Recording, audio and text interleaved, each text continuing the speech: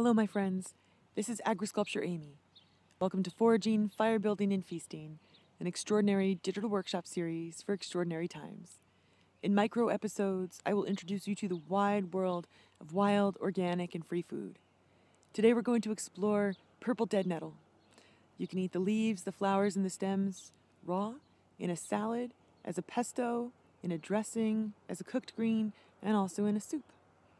Thanks for tuning in. You can find me on the farm and online at agrisculpture.com. Be well, my friends.